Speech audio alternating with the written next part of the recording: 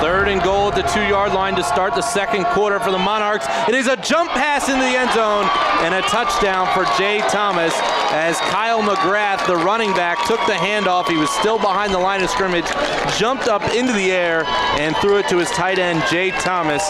And the Monarchs strike first at Mustang Stadium. They lead it six to nothing.